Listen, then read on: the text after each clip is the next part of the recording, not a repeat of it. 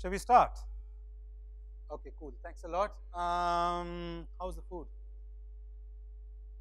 Good? Are you sleepy? I am. and what I did is, so my job is to keep you awake. So I did a couple of things. I had three matka ice creams. then I then I ensured that I had a, a cup of tea and I've kept uh, enough water there actually to ensure that I'm awake and I'm not going to allow you to go to sleep. Okay, um, quick one. Mm, it's a nice small gathering, so I'm going to do uh, more of a chit chat and discussion so that it doesn't look like boring actually. So um, I've seen a lot of it. Um, in my previous avatar, I was the uh, you know the head of Gartner India. Gartner does a lot of uh, conferences, large ones. They were the, they're actually the largest conference company in the world. And um, one of the things we learned was how to create death by PowerPoint. Actually, so I'm not going to ensure that you die looking at the PowerPoint. So I keep it very uh, you know full of images. The other thing I do is that um, I do a lot of interactive things actually. So just stay with me. Uh, a lot of things I personally begin to believe is common sense because I believe as long as you apply common sense, I think things fall in place because the people who wrote it for first time or created uh, lean methodology for first time would have created out of common sense. Wouldn't have been an epiphany that it's a E is equal to mc square or Newton's third law. It's a very simple thing. They would have observed and say, oh wow, that doesn't make sense. uh, before I get into it, I just want to understand a little bit of a demographic here. So stay with me and just help me understand um, who you are. You don't have to introduce yourself because it'll take a long time. Uh, but just raise your hand. How many of you are entrepreneurs here? Okay, one, two, three, four. Good to hear that. Uh, how many of you? Come on in. It's okay. Don't get scared. There is a seat here. There is a award for people who are sitting next to me actually at the end of that. So you can come here. Uh, how many of you are, uh, I'm assuming your bosses are not around, how many of you are planning to start a venture? Okay, good to hear that. Okay, so what I'm seeing is, what I'm learning is that close to 60% either are about to become entrepreneur. so whatever I share with you, I can tell you it's going to be very valuable. First, it's a global best practice. Second, we have worked with 4,000 startups globally to understand this works. Third is, this is inversely proportional to what you have learned in your corporate. So you're going to find it hard to digest. Okay. Fourth is, if you don't apply, I can tell you you're going to fail. And I don't want you to fail because that's one of our mission is to ensure that startups don't fail. Along the way, I'll keep talking about myself, who we are. Uh, those of you who are very savvy, uh, you know, on social media, uh, I think Agile has at Agile India. You can tweet. Uh, my Twitter handle is at Rajeev Banduni. You can include me there. And uh, if you are even more savvy, you can include Growth Enabler Twitter handle. So, who is Growth Enabler? Okay, those of you haven't taken the time to go to the website agenda and watched my Hindi video, which uh, my friend Nitin put together, and read some of the articles which has come about. Um, we started, Growth Enabler is a London-based company. We have a head office in London. Uh, there are three of us who started it. We are all ex-Gartner. Based out of India. I've got another partner called Aftab Malhotra. Uh, he's based out of London. And then we've got a third partner called Lars Lind Wellebeck. He's a Danish guy based out of Copenhagen. Because wherever we are, there are obviously three offices. So we are international from day one. And we have a presence in Hong Kong, presence in uh, Palo Alto. Why did we create? For a very simple reason. We want to do three things. We want to ensure that anyone who wants to become an entrepreneur should have a very easy access to tools, templates, and access to funding in a way that it looks democratic. So we are trying to build a paradigm way the world leading advice is delivered to you. Why do we think we need to do it? For a very simple reason. Uh, take time to go through it actually, but I'll tell you what happened. this is not the way we wanted to start it. We got compelled because we saw a problem. And I can tell you every startup is born like this. We started something called WK Night. We said there are three of us, we have earned, we'll be able to do some bit of angel funding. We're going to pick up six, seven companies, work with them, invest in them, take them global. We have a, you know, I understand India, US, my partner understand entire EMEA market, the other guy understands Scandi and China. So we'll go after ICE market, India, China, and Europe and. In our quest to find out that six, seven startup, we begin to realize there is a huge problem. The problem is that there are more than seven startups who needs to become successful. The problem is that while the startup is a poster boy in India, in Bangalore, in rest of the world, there are only 0.1% of poster boys. 99.9% of guys, they actually fail. They go nowhere. Okay. I mean, in fact, if you look at the global studies done by likes of uh, Forbes, they said 85% of the startup fail in first 18 months. They actually shut down. And then they found out what they realized in first 12 to 14 months. Okay. By the time they run out of money, the runway is over, they're dead. that led us to believe is that what's going on? Because how big is this problem? If 85% are there, so why why it's happening? To our surprise, we realized is that the startup world is huge, contrary to what you see in this here. I mean, on an average in India from last four five years, 100,000 new companies are being registered. In China last year, 1.9 million new companies registered. In UK, which has a population of 67 million, more than half a million companies registered. There's something wrong in India, it's going to touch million. The challenge is, um, with just around 200 accelerator, how do you serve the needs of everyone? And guess what if you don't live in Bangalore? Guess what if you don't get access to accelerator, somebody smarter than you gets into that, how are you going to build your startup? That led us to believe that there has to be a way that entire startup building has to be democratized. It should be accessible to anyone. So most of our modules are available, um, you know, to most of the people. It's free of cost. Um, the other thing we do is that you don't have to come to us. It's available on web. Just have a look at it. These are all the videos, tools, templates. I promise you at the end of this session, I'm going to give you a tool which you can use it. These are simple checklist which you can use before you launch a product or planning to launch a product. And finally, what we realized is that all these people need access to global coaches who are who either have done it or know how to do it. So we have around close to 30 global coaches across the globe. These are either the board member of Fortune 500 companies or they are ex-founders who have money, they are interested in investing or they are interested in coaching. Then by virtue of what happened was a lot of uh, people who wants to be part of ecosystem in India started talking to us. One thing led to another and what has happened is that in last 11 months, we launched only 11 months back. Now there are corporates talking to us likes of um, big fives, likes of big pharmaceutical companies that how do we access this innovation? So we feed them innovation. So if you're building a B2B startup, you're building something, uh, they are the people are interested in knowing that because we have known them, we know most of the CIOs actually. So we are testing that product right now and we have close to four beta in that in London. Actually. So this is a bit about us. Let me just quickly just talk about simple thing. Actually, one thing we learned was the entire structure of startup advice doesn't exist. Like I'm talking about something I'm going to share and then I'm going to leave. And even if you found a better way of launch a product, how do you raise capital? How do you hire people? There has to be a structure. Like there is a curriculum in everything, there has to be a structure. A company building, a startup building needs to happen. What we started creating simple thing is that everyone needs to take a decision okay to take that decision they need five things competence capability uh, communication clarity of purpose and confidence this is the only way that can be built when you know what you're doing and what is going to be the outcome and how to go about it we started calling them key decision matrix go to any decision go to our website you press any of them you're going to get all that advice actually it's available on web toolkits are available download now we are rehashing website we are creating assessment tools where you can assess where do you stand actually all that is free to you use it so that you can get step-by-step -step advice. You don't have to come to me, it's all available on website. You can go anywhere and do that. Today we're going to focus on creating amazing product. We deliberately kept, we didn't keep it lean or something, although we are a big believer of lean, but it's amazing product. You can create amazing product with or without lean. But there is a reason why I feel lean philosophy because I personally feel is that that's the only way a startup can be successful.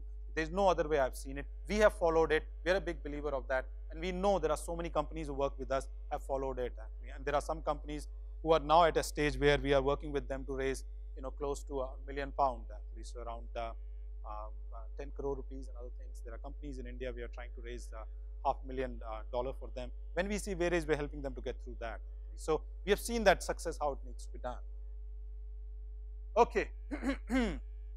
now that the room is full and good, uh, how's the food? Those guys who came late, actually, I think you were busy ensuring that it's there. All good with you guys? Okay, cool. Thank you. Appreciate. Okay, three things I'm going to do. Uh, what we're going to share? Assumption. Every startup starts with an assumption saying that there is a problem, I can solve it. And then we go and execute an assumption, and then you do a little bit of premature scaling. Heard of a company called Tiny Owl? Yeah, Tiny Owl, food delivery company. Lot happening there, actually, looks like. A little bit of premature scaling. We're going to talk. We're going to talk a lot about India, because we have collected a lot of data here. if you have to launch your product today, just by a show of your hand, how confident you feel that you can you are ready to launch your product irrespective of your startup or you're working for a company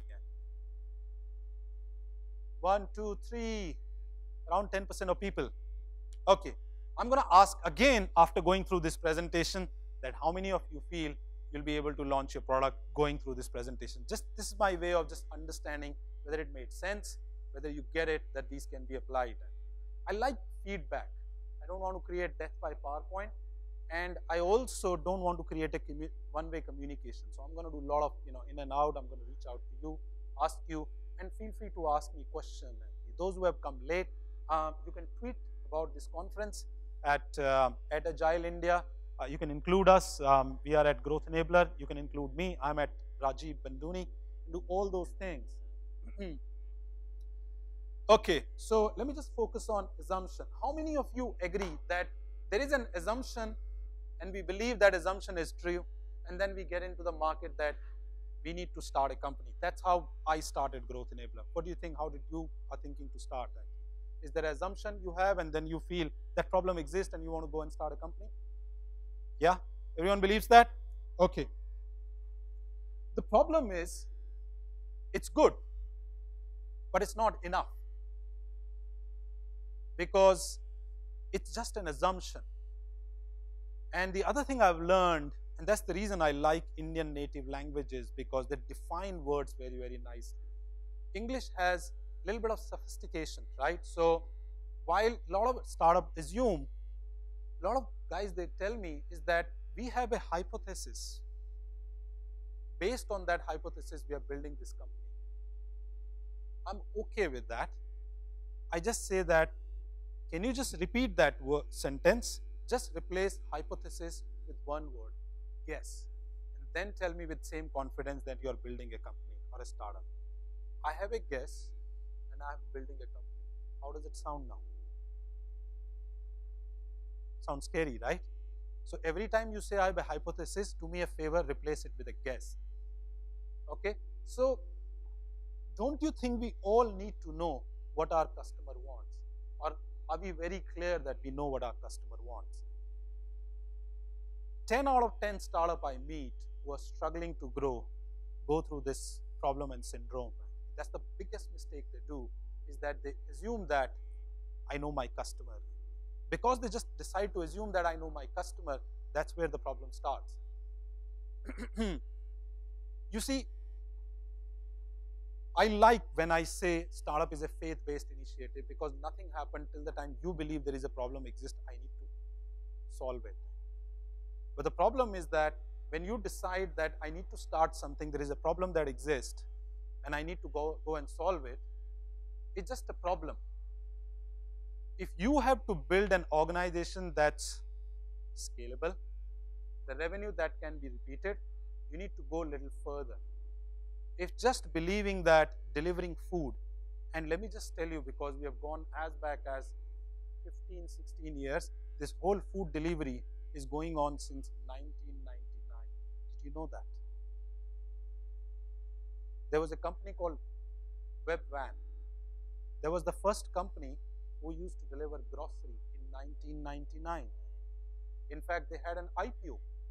Did you know that? Right? It looks very recent phenomena, isn't it? There was another company, I'm trying to recollect the name, they started delivering, have you heard of Krispy Kreme donuts? Yeah, they said, I'm going to deliver Krispy Kreme donuts at 8 o'clock in the morning, Saturday, because people love to have different kind of breakfast. So much so, Amazon invested in that company. That also closed out. So there must be a reason because all these people from last 16 years are believing that I can deliver grocery and food. Not many people have made money out of that.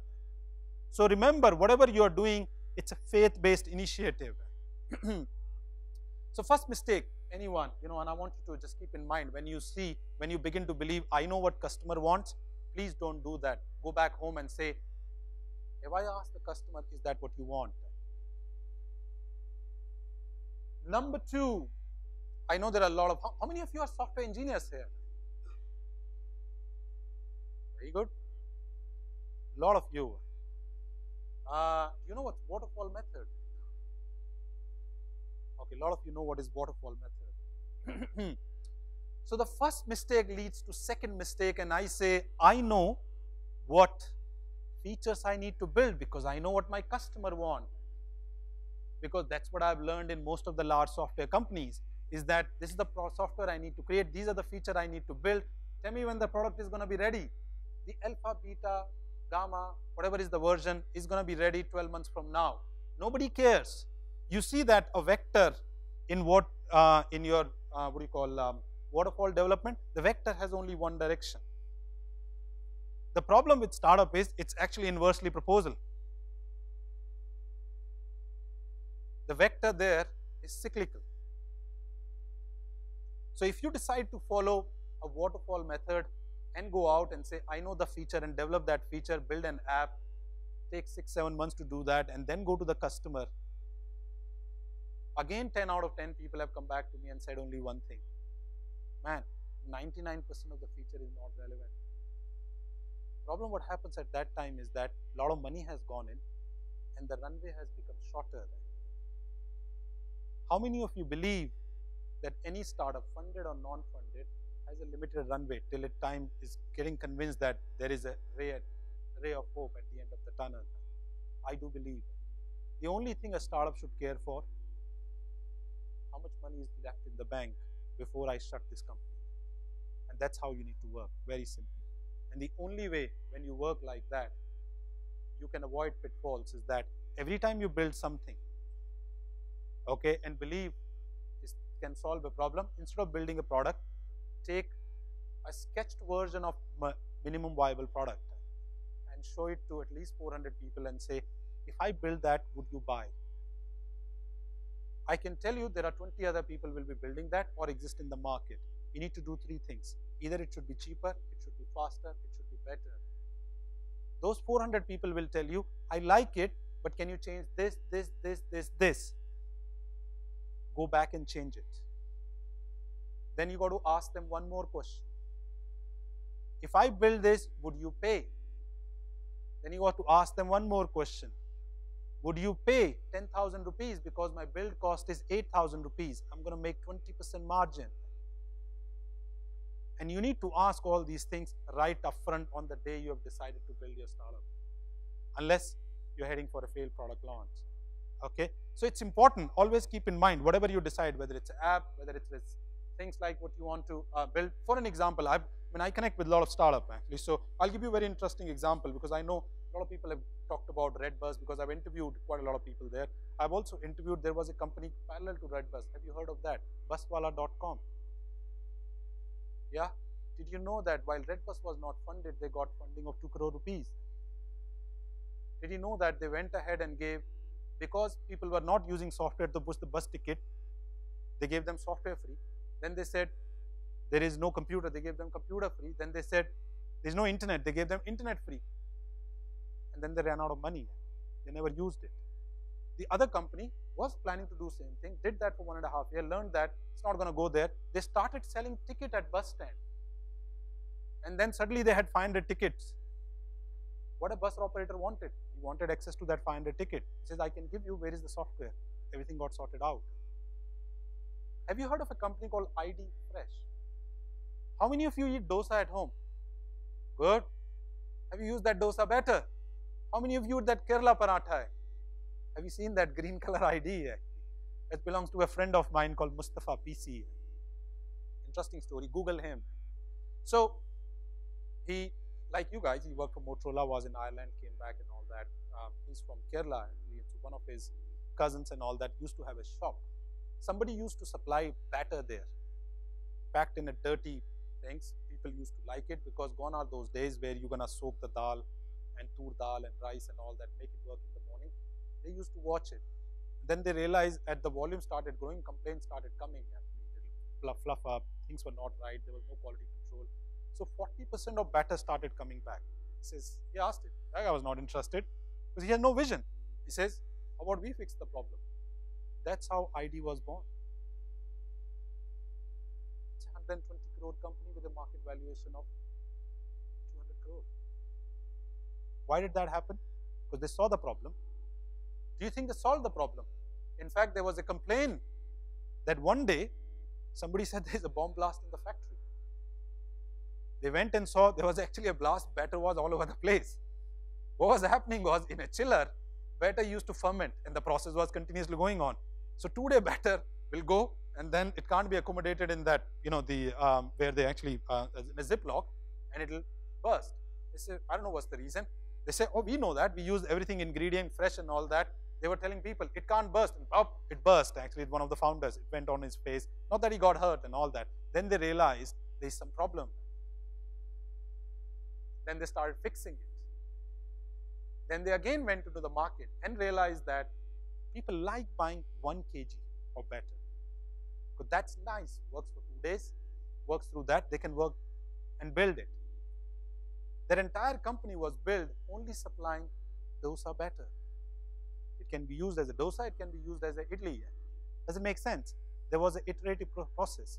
They didn't spend six months just finding out how to build a good dosa better, how to do a nice packaging and all that. Because they were not sure whether people are going to buy it or not, how big is the market.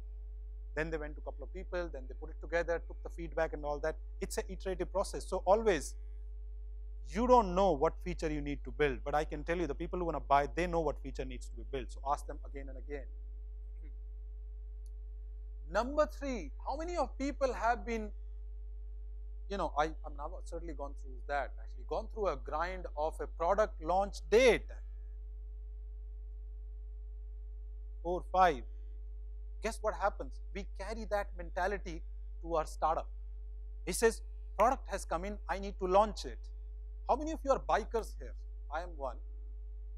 Yeah, I'm motorcycle. I'm also I also ride cycles and all that. But motorcycle biker. How many of actually looking forward to a launch of a new bullet adventure which they have specially created for Ladakh, Manali, and that kind of a trip? This one UX designer is looking at it, so he says he's going to show it to me. Now, if they are launching a bike tour like that, they have studied it for five years. Because I know for sure for last 12, 15 years, people are using Bullet to travel to that region because I mean a little bit of personal detail. I'm an ultra runner. I run races of 100 kilometer plus. So every year, last two year, I'm going to Spiti Valley. That's closer to Leh Ladakh, and I do 100. I mean, last year I did 185 kilometer. That's at an altitude of around 4,500 meters. So you see a lot of biker there. The current version of this thing doesn't work. If they decide to launch and have a launch date, it's okay because the amount of data they have, they've studied the motorcycle, they know what goes wrong, they can do that, right? If HLL decides to have a sachets of shampoos, they've done that study. Even if it fails, it's a, a dot in their entire, uh, what do you call, balance sheet. If you start worrying about a launch date, what is it for? Does anyone know you? On a launch day, I can tell you, except for your wife, daughter, kids, brother, sister, neighbor, eight people will download your app. Nobody else is going to download your app. So much for your launch date.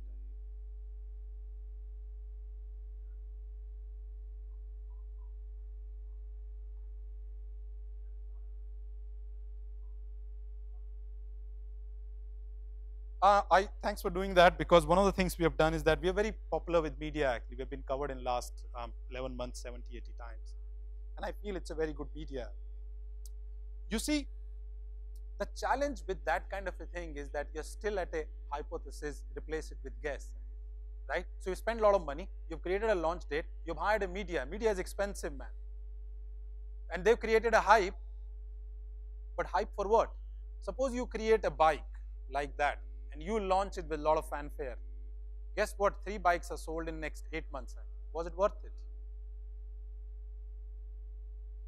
Because you don't know. You're not a bike company You're a startup. Everything you're doing has never been done. At least you haven't experienced it. At least you don't know how people are going to react to it. And there is no brand called Enfield behind it. There's no brand called Tata behind it. Right? I mean, even if you get featured in the front page of Economic Times, it doesn't say that you have that brand recall. I think you have to think absolutely inversely proportional to a way a big company thinks for a launch. You don't even have to worry about it. What I would do is that figure out friends, family, and all that, and get them together and say, look, I'm launching it. Can you use it and give me a feedback? It comes free, man. And some people say, oh, wow, it's not a bad idea to have a look at them.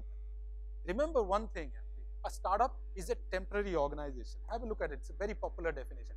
It's a temporary organization that's looking for repeatable, scalable revenue model.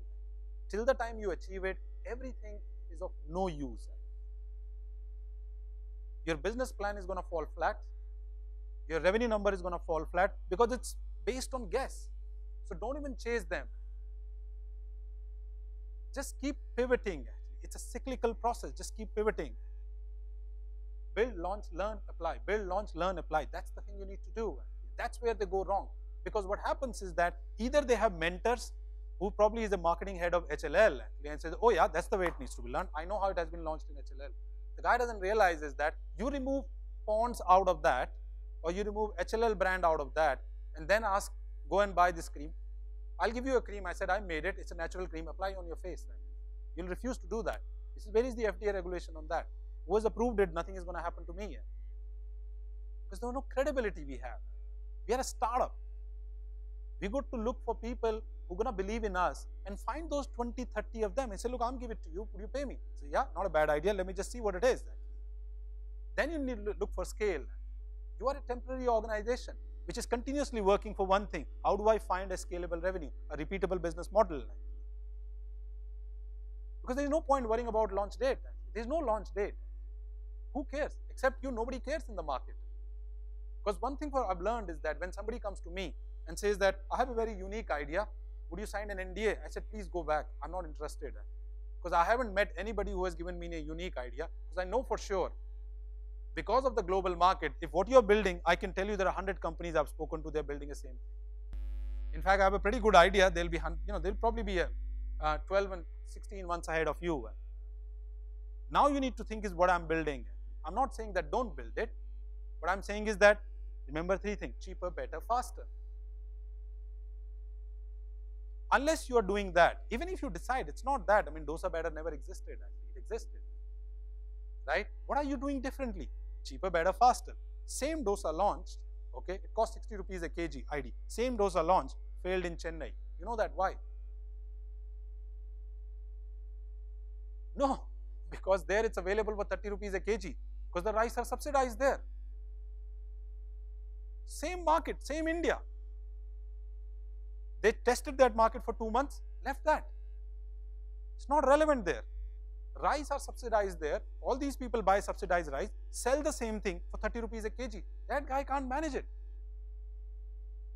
Sorry? See, wherever he goes, the manufacturing is local because they do fresh ingredient. He doesn't take that subsidized rice. It's for people. Trader take it. That's not a right thing.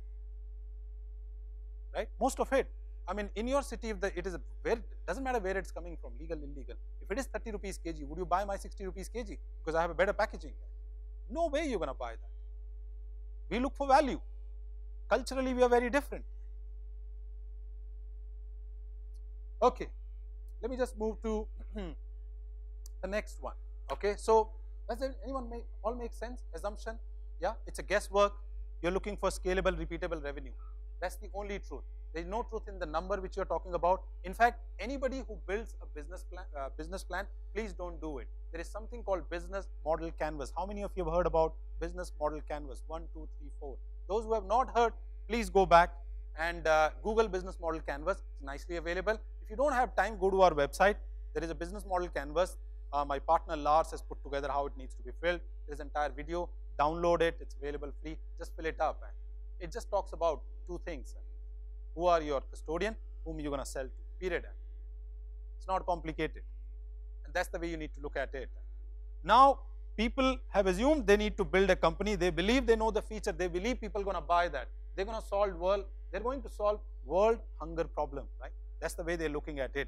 Next thing what they do is that they start executing on those assumptions. And that's another flaw people have. When you start executing on assumption, I kept saying that it's a hypothesis. Replace that, it's a guess.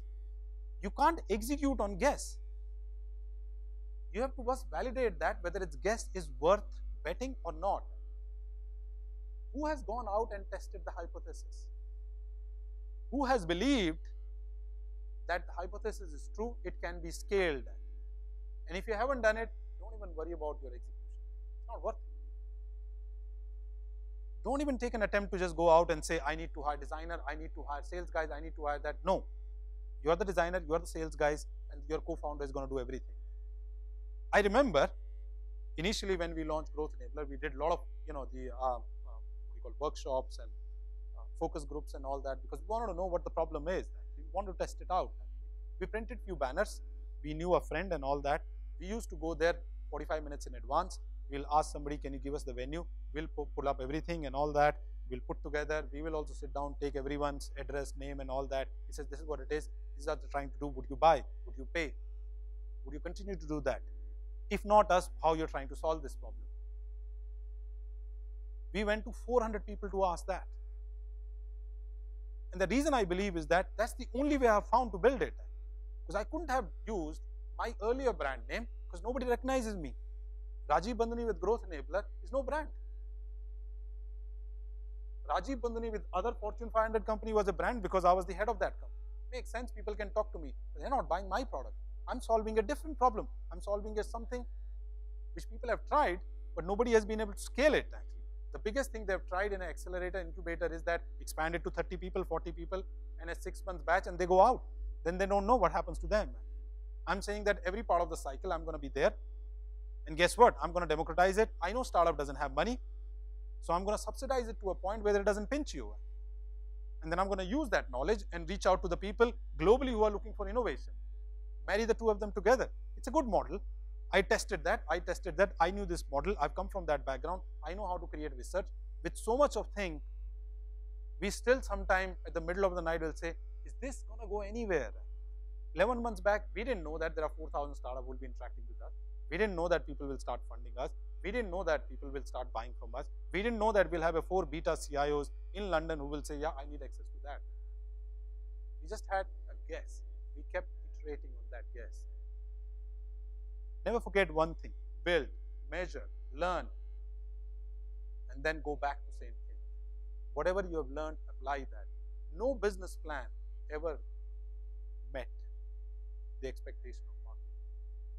First thing what happens when you have a business plan, when it goes to the market, it falls. So don't even try to follow a business plan. For God's sake, don't even put any numbers that in October you're going to have 400 people who are going to be doing that. If it happens, good, because you don't know. So don't put that and create a pressure.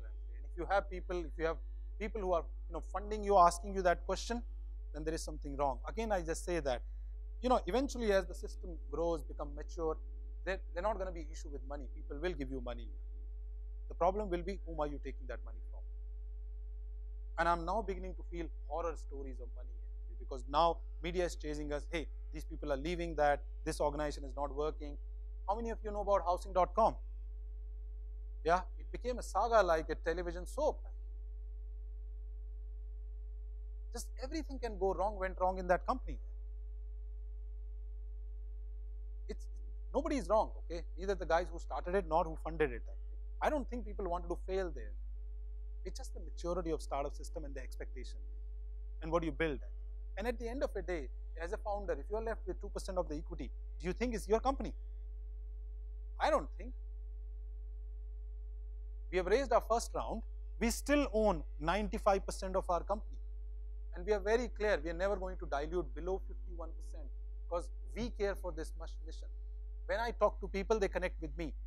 Most of the people who have joined us has joined us for one reason. If they have known us, they have attended our, you know, these kind of seminar, Uh, they've seen us, they've read our article, they've seen us on television. Says, I like you guys, can I work with you? I especially invited Ankit. He's joined us uh, a week back. He's from uh, Wipro. He's um, IIT Dhanbad yeah. Read one of our article in Mint about startup. He's been uh, you know working in startup for the last two months, two years. Helps startup, does the research and all that. He says, I like it. I want to play in startup. I am, uh, you know, I like researcher. We need a researcher because a lot of newspaper ask for the trends analysis on that. He says, okay, come over. He didn't come Growth Enabler as a brand. He just felt that we are doing something good. This is how it has come about. I took him through the mission because that's how it connects. Unless only you care for that mission, only you care for that problem. Nobody else cares for that. So don't even expect somebody who has funded you cares for your mission. You know what do they care for? When you're going to exit and how you're going to make a 10x return to them. That's the only thing they worry about. So think 20 times when you're going to people and what they're going to ask for. Okay? You cannot continuously relentless execute and expect that your business is going to succeed without even knowing that anybody needs that. Okay? So always focus on proving your hypothesis, not on your execution. Are you following a traditional business plan? Every time I meet a startup and say, look, I'm going to pitch to somebody. I said, yeah, go ahead. He says, here is the business plan. In month one, I'm going to do this revenue. Month two, I'm going to do this revenue. Month three, I'm going to do this revenue. I Said, okay, thank you very much. Can you tell me past three months, what has been the statistics of your revenue? I said, no, we haven't done it. He says, oh, so what makes you think that month one is going to be like that? He says, no, I think so. He says, you think so? There are customers saying that I'm going to give you this much of. Because if a known company predicts something, they have a cycle and it goes through cycle after cycle. You have no cycle. You don't even know who's going to buy. In fact, you don't even know whether people are going to at all buy your product. And if they do, are they going to buy the version you have created? And if they decide to buy version that created, are they going to buy the price you have put together? And if you have put together a price you put together, are you going to make money? Unless you have answers to all those things, there is no point creating a business plan. That's the reason I say shift to business model canvas. That has been specially created for startup. It doesn't talk about numbers. It talks about an ecosystem of startup. Because remember, you are in a constant flow of only one thing. You are searching for repeatable and scalable business model. That's the only thing you're doing. And unless you're continuously asking yourself and you're surrounding people with those kind of questions, there is a struggle. And I think that's the problem which is beginning. I mean, look, a valley-based system, the entire Forbes report was for a valley-based system. It's a, they are in their third cycle of startup. We are in just first cycle of startup. Or you say one and a half cycle of startup because the first one happened when Infosys, Wipro, these guys came and put it together. After that, nothing much has happened. There was a small blip when the dot-com company happened actually. I started a company then at that time. It was Islantis Technology. I mean, we were valued around $15 million. I raised around million dollar actually, still exists. We have around 250 people. Uh, I have a 5% equity in that. That was a service-based economy. How many of companies you remember from that time you started as a Shaadi.com, this.com and all that are still there and making money? At that time was like, I put together a website actually and people are going to buy. That's what Webvan did. Interestingly, they created a company which will deliver groceries, 1999. Okay. Then they reached out and raised fund. Everyone believed internet economy was coming. They raised. Then they reached out to people. Okay. At that time, they used to deliver 800 supplies every day. Nobody checked that 7, 70% of them are repeat. 30% was dropping every day. And guess what they did? They did a $40 million contract to create a warehouse in some 14 states where they're going to deliver without knowing then they hired a VP of sales, VP of execution, VP of marketing. Nobody was interested in asking that look from 800 how we go to 2000 and those guys are planning that in two months we're going to deliver 2000 it never went. Because hype was selling then they got publicly listed. And exactly seven months from getting publicly listed, they filed for Chapter 11 because nobody tested the hypothesis, the guess that it's a viable model. Not that similar model failed. Have you heard of a company called Tesco? Teapot. They exactly do the same thing. Tesco is a half a billion dollar grocery delivery company. They looked at the model, they understood what needs to be done. You need to keep pivoting. You need to create a cyclical model. Because what happens is that when you follow a traditional business plan, there is no trial and error. You know, you just don't go back. You try error, try error, keep applying, keep learning, and put it back. Unless you do that, you're struggling. Unless you do that, there is no learning happening. This is what happens when you follow a waterfall method of developing and creating an app. So you don't know what people are going to buy. There is a book called, I'm reading it, it's a very interesting book. Somebody has written it because, you know, this entire internet-based economy and a mobile-based economy, what it has done is that it has created a lot of distraction. So here is, you know, for so much for your mobile-based economy, people select, take a call to spend more time on a website and they decide that in 50 millisecond, in 50 millisecond, they look at a website and say, I'm going to invest time or not. One. And they decide that not based on the content, just purely based on the content. That's the recent research, purely based on the color. If there is so much of distraction where in 50 millisecond people decide whether I want to invest time on that website and purely based on color, how you know, our brain is like, it's a very lazy thing. I read a lot, so I connect all these dots. So I have my own library. So there is a gentleman called Daniel Kahneman. How, how many have heard about him? Okay, cool. Have you have you read a book called uh, Slow Mind, Fast Mind? Think, Thinking Fast and Slow. Yeah, it's the book normally referred to people who are doing uh, PhD in uh, uh, behavioral analytics. Okay, if you're not, just have a look at them. So there is something called lazy mind, which does thinking fast. Myelins gets created. They like, oh, like red color. Okay, go on that. That's the reason we've kept a red there. Okay, they say, oh, like it. Red color, that's good. Let's just look at them. What do they do? It's as simple as that because we are so distracted. People don't have time to read. that. If you create a website which is full of blogs, people don't have time. They like bite-sized information. The reason why Facebook has gone into videos is primarily because they realize nobody is reading it. They're either watching pictures or they are only interested in going through the videos. Nobody has time to read text, right? Has anybody thought about that when you're launching? Anything what you're doing? This is the way things are changing. Surround yourself with people who will ask you these questions or ask somebody to help you asking these questions. Because remember, the reason people fail in first 18 months is not because they don't know what needs to be done. It's because they believe they know what needs to be done. And by the time they figure it out, it's too late. 14 to 16 months, they're out of money. It's a limited. Only thing you need to worry is how much of cash I have in my bank. So traditional business versus startup needs.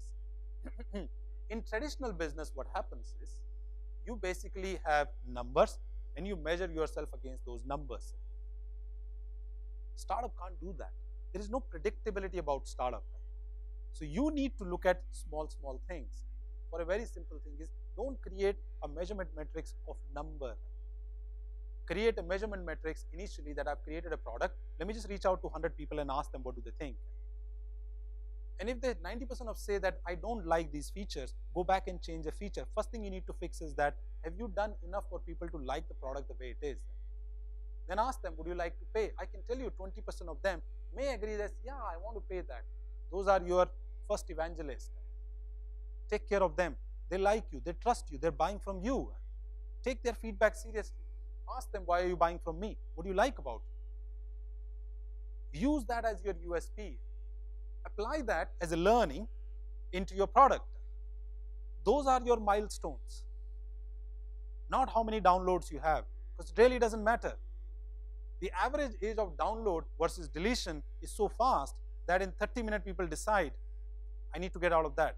In fact, I'm actually intrigued now if that people need 100 apps to, to access information I don't think I can do that. I've started deleting all the apps from my web. If I need to search anything, I like actually Google search, search it, have a look at it and do that because I can't go through 20 apps. I just use two, three apps which I need to use it. One is my banking, another one is my taxi app. Okay. Third thing is my email app. That's it. I'm not interested because I need that. Rest, I don't do it. Because I realized one day I just sat, I said, look, I have 150 apps. I don't use 90% of them. And those are like big companies. If the app exists in you, you have known them. If I don't use them, guess what? If you have created an app, what are the chances that I'm going to download it? I'm going to discover it. And guess what? What are the chances I'm going to use it? And all these things doesn't happen. How are you going to make money out of this? Wow, the room is full now. Man. That's good. Welcome, guys. Feels good. so never, no product launches measurement. Never try to do that. A lot of people do that mistake. Don't focus on your revenue. You have no predictability about revenue. The only thing you have predictability about is you're testing, I know something, are people going to buy those things? I know something, people like it. I know something, people say, you know what, 80% it looks good, 20% if you change it, it's going to make sense to me. Those are the measurement. Anything, if anybody tells you the measurement about your revenue, is basically fooling you. Five minutes? Okay, good. Finally, premature scaling. Are we out of time? Only five minutes. Oh, is it? Can you give me five minutes? Okay, thank you. Ah, thanks. okay, premature. So what happens is that you've gone through one assumption to execution on assumption. Now comes the premature scaling. Why do you think in last three months, 90% of people who have been fired are from the companies who are into food delivery. Because all of them, yeah, what do you think what went wrong?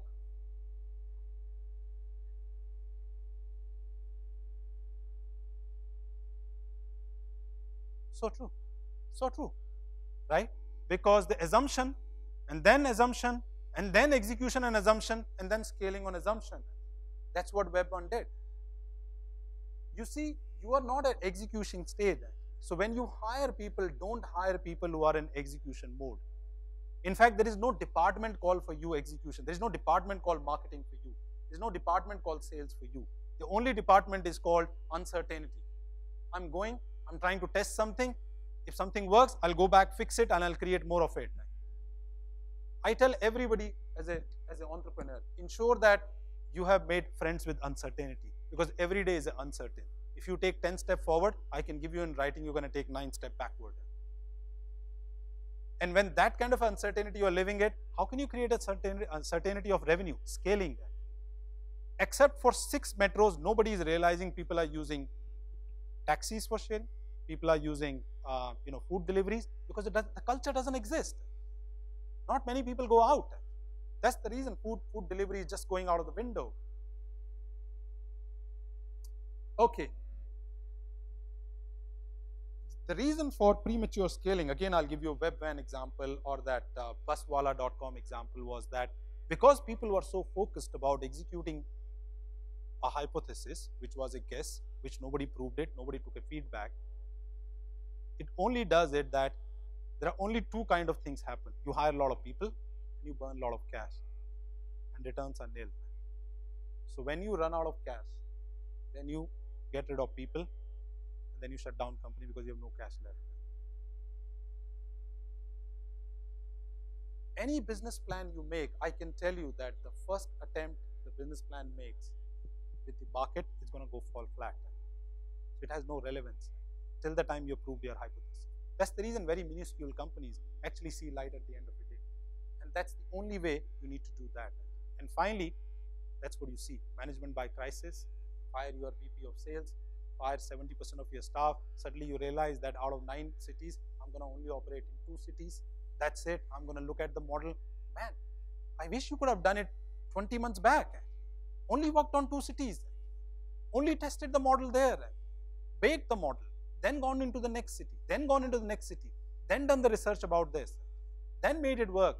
For 16 years, not many people I have seen who have made money delivering the food. And also keep in mind, unlike unlike big companies where failures are seen, you know, like you're done, you're fired, you haven't done a good job. In startup, failure is every day. You need to embrace failure. Every time you do something, you're gonna fail. You're gonna learn, apply that. Till the time you found a method that you're gonna be successful. So don't take it hard. in last 11 months, we have failed many times than we have succeeded. For 20 things we have done, only two things have worked. But it's part of light, it's part of lean because you're learning, you're applying, and all those things, and that's the way it works. In the end, that's the last slide from my point of view. It's a simple slide, you can click it, what you need to do actually. What I've done is that as a startup, you are in this mode, customer discovery. Okay, you do customer validation, you pivot. You do customer validation, you pivot. Don't even look at customer creation and company building. It takes good 18 months just to give you on that side. And this is a very simple lean philosophy is that you have a hypothesis, you do, you try things, and then you go to phase three, then you verify, pivot, and go back. And remember, I've kept it cyclical. The vector is not in one direction. The vector is a cyclical vector. Let me finish it quickly. Now that you have gone through this, how many feel confident that they have learned a little bit about that they can launch their product? That's good. At least two more hands were raised. Okay, if you feel that you are scared, um, no question answers because we don't have time. If you feel that you are scared and you need to know what, what is required, I've created a checklist. It's a um, you know 10 or 12 questions of checklist before you do a product launch. Uh, I mean, you won't be able to read it. Just send me an email, just tweet me, and I'll be able to send you the link for you to download actually at info at growthenabler.com or at, uh, at Rajeev Banduni Twitter. Just send it to us. Happy to send you the checklist. Do that. You can use it. You can use it for our, your companies also. I'm done with this. Thanks a lot. Sorry I took five minutes more. Appreciate that.